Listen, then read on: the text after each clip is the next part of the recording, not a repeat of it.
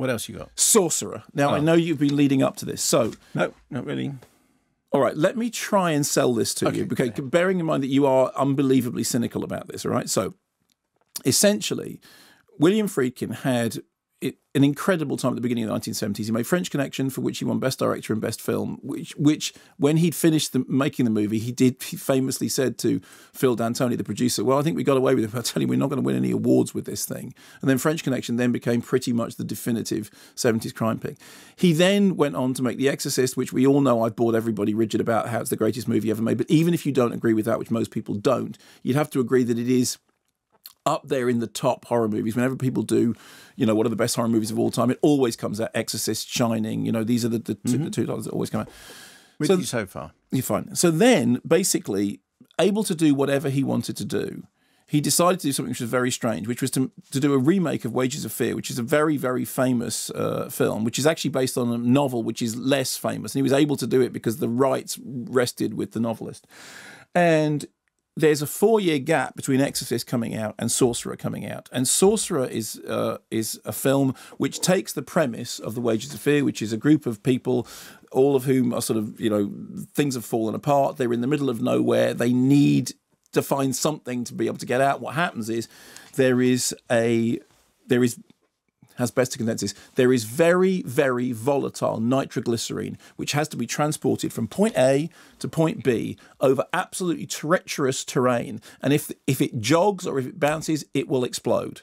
And there are people driving the trucks, and that's pretty much the setup. So in the case of this, um, he did the screenplay with uh, Walon Green, Wally Green, who had written Wild Bunch, and they thought that the idea of the film, which was about people from disparate backgrounds having to work together or die, was interesting in terms of the world situation. But they also just loved the fact that what the story was was a real tense edge of your seat thriller. So they rewrote it, they reconstructed it. They had originally written the lead role for Steve McQueen.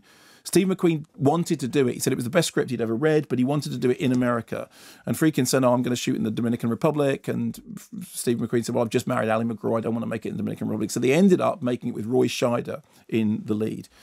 The film took two years in the actual making of the film, another year before in the planning.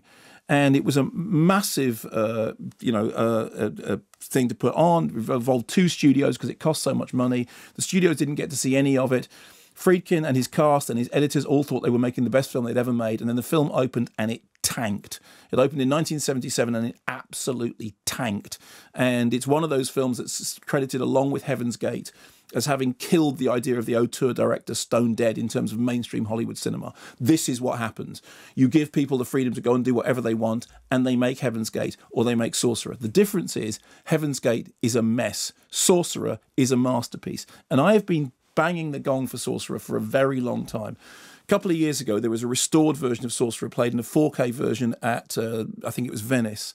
Now, and then it came out on Blu ray in America. Now it's got a very brief theatrical release here in the UK, so you can see it properly on the big screen before it comes out on Blu ray on Monday.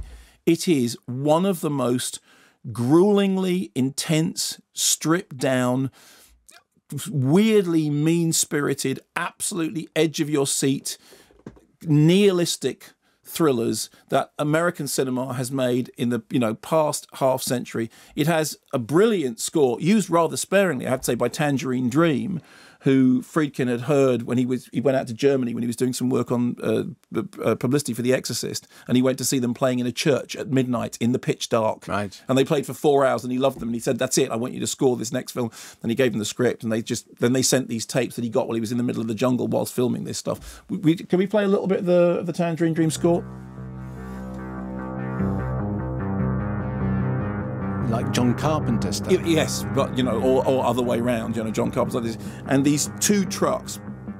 Uh, basically crawling over this absolutely treacherous terrain driven by four people who are you know terrible interpersonal conflicts but they have to get from point A to point B during the course of it. There is this extraordinary sequence in which they have to get over a great big rope bridge that is swinging over a raging river swinging backwards and forwards. Every time the truck moves forward an inch it looks like the bridge is going to break. I mean it is it is breathtakingly visceral cinema. It is muscular. It is. It needs to be seen on a big screen. It's coming out on Monday on Blu-ray, and that's absolutely fine. And I, it, will- it's so great that it's finally being reassessed. People are now saying, "Wow, it's Friedkin's best film." I tweeted something about it, and people said it's my, it's my favorite Friedkin film.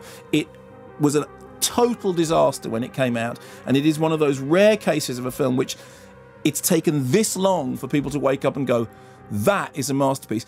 And in 1977, it opened back to back with Star Wars, and and it just got wiped out. Well, uh, anything would. Yeah, exactly. And the only thing, and the whole world changed around it, and it was out of step with itself. And it, I, I, if you get a chance to see it on the big, about eighteen months ago, we showed the, the, the restoration at the Plaza in Truro when it had just it just played at Venice, and it was a packed house, and people hadn't seen it, they didn't know what to expect, and they loved it. They loved it. it. Is proper, visceral, muscular cinema, which you can feel the rain, you can feel the heft, you can feel the creaking wood, you can feel the gears, the groaning of these engines. It's it's a really, really terrific film, and I would love you to see it on the big screen. I know you're not going to, but there we go. Yeah. Okay. Well, I, it, I might go and see uh, Bad Mums.